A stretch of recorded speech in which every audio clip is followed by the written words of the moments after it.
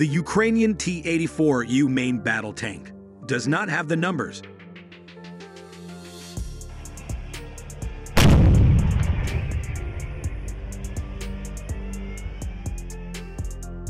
Russia may have as many as 1,000 tanks, armored personnel carriers, and self-propelled howitzers along the border with Ukraine, according to recent satellite imagery released this month.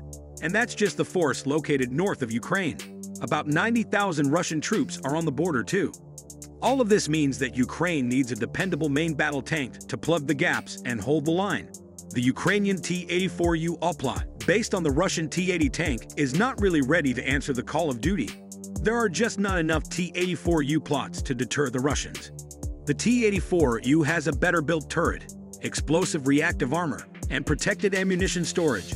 The Soviet T-80 was built at the end of the Cold War in three locations, one of which was in Ukraine, Ukraine kept building and improving on the T-80 platform because there were thousands left over from the Soviets, but the spare parts were all in Russia. This resulted in the Ukrainians resorting to fashioning their own upgraded T-84U. The Ukrainians did not keep the gas turbine engine of the T-80 in its own T-84U. It swapped in a 6 TD2 automatic transmission diesel engine. The diesel is easier to maintain and has better endurance, but it does not perform as well as the gas turbine in winter. The diesel does have a decent output of 1,200 horsepower, roughly the same amount of horsepower as the gas turbine.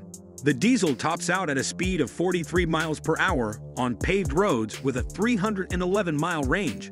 For better combat maneuverability, it can go 21 miles per hour in reverse. The main gun is a Ukrainian KBA-3 125mm smoothbore with thermal imaging, which can fire high explosive, fragmentation, and sabot rounds.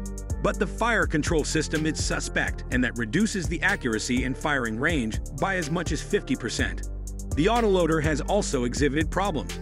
Ukraine has an estimated 2,430 tanks in totality, but there are only a handful of T-84U tanks in service.